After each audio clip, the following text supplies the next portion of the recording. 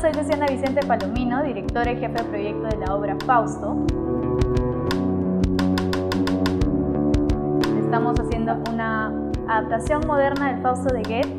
Es una combinación de teatro, música y danza y hecha por siete actores que hacen más de 30 personajes. Fausto es el mejor sabio de su época que vende su alma al diablo a Mefistófeles a cambio de experimentar todo en la vida. Y eso trae consecuencias. Los esperamos el sábado 8 y domingo 9 de febrero en el Centro Cultural de la Universidad Católica a las 8 de la noche en el marco del festival Saliendo de la Caja.